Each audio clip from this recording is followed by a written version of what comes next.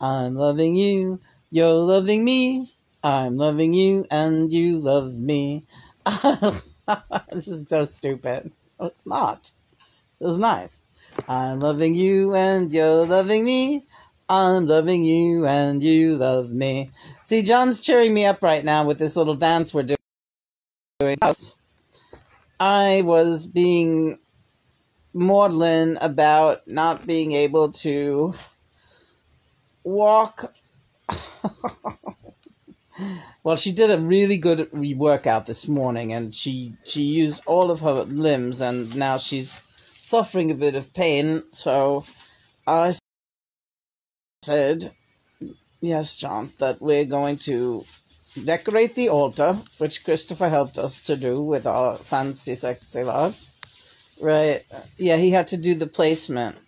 I was originally going to try to do it with my walker and do the lights over there. And I said, John, I feel like I could easily, that could be a disaster. Everything on the walker, I'll just, you know, drop things and it'll be bad. And yeah, that was a little tall order. But look how great it looks. Yeah, it does, really does. Mm. And looks great on camera too, what I can tell, right? Yeah.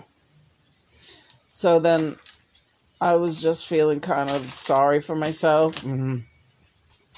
So John started singing good.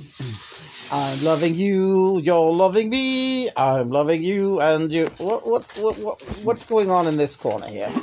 Christopher's ripping up papers. Oh. Now, do you see? Do you see what I'm talking about? Yes. No. What? Liquid milk powder. Oh, okay.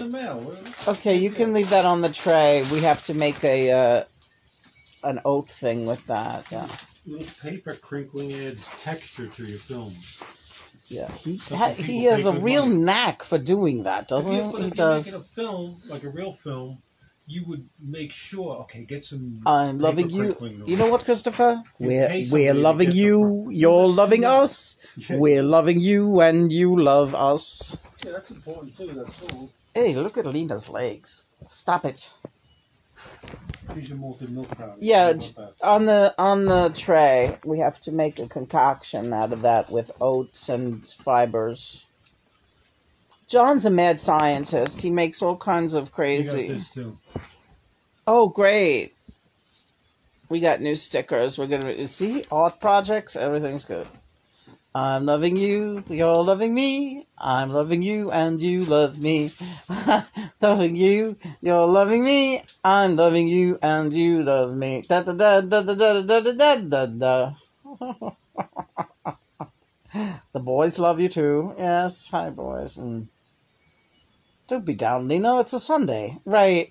Anyway, you did a great thing today. You posted on Father John Misty, right? Oh, let's talk about Father John Misty, right?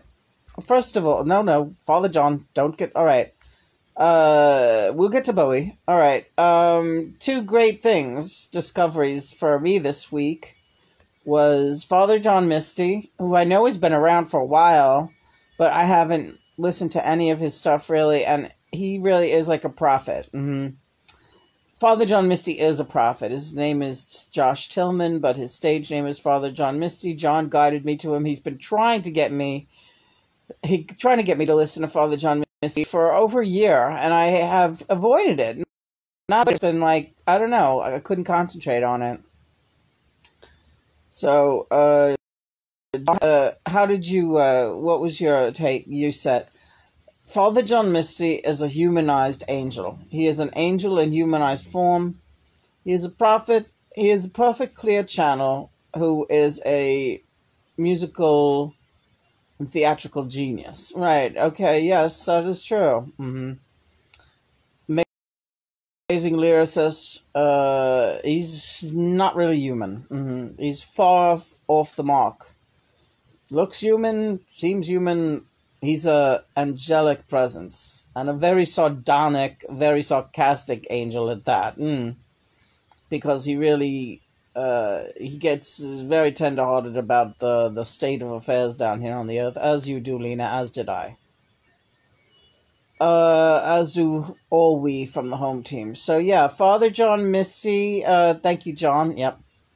He is, please check him out. He is, if you haven't already, and realize that he is a prophet and a seer and a not just a proclaimer, but he is a prophesizer and he can see into the future. He is a powerful, angelic, musical presence on the scene right now.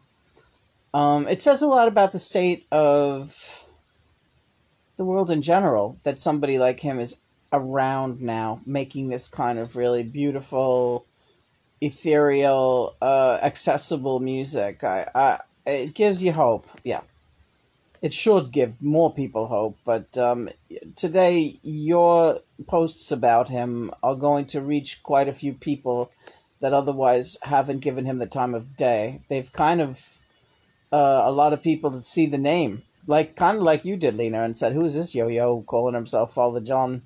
Uh, you know, and and the name is completely uh, sarcastic. He he, if he can laugh at himself because he really honestly can't believe the state of this world that he has been dumped into as a prophet. Mm-hmm. Kind of like how you felt, I, I think. Yeah, but he he has more, even more self realization than I did. I think probably. He's a little bit more. His evolution has uh, the ascension has affected him profoundly. Um, but yeah, same type. I see eye to eye with him very much so. I also noticed that he covers a lot of your songs. Happiness is a Warm Gun. Um, I saw he covered a few of your songs. Yeah.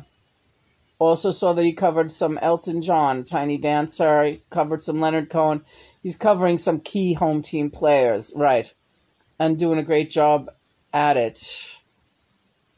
So yeah, Father John Misty. Oh, we're running low on battery. Well, let's just say what uh, the other thing is Bowie's new box set. Yes, Bowie, his camp is still releasing material dating back to 2000 uh, sessions that he did um, with Earl Slick and his uh, that whole band from that era, and it is called Toy, uh, short for Toy Box, and it is a bunch of previously unreleased takes on some great, great songs. Also very prophetic in nature.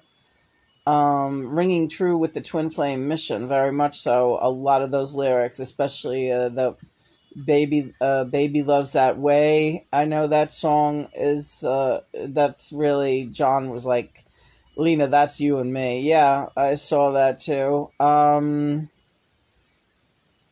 Liza Jane, yeah, Liza Jane. Uh, there's just like some great music out now that needs to be explored.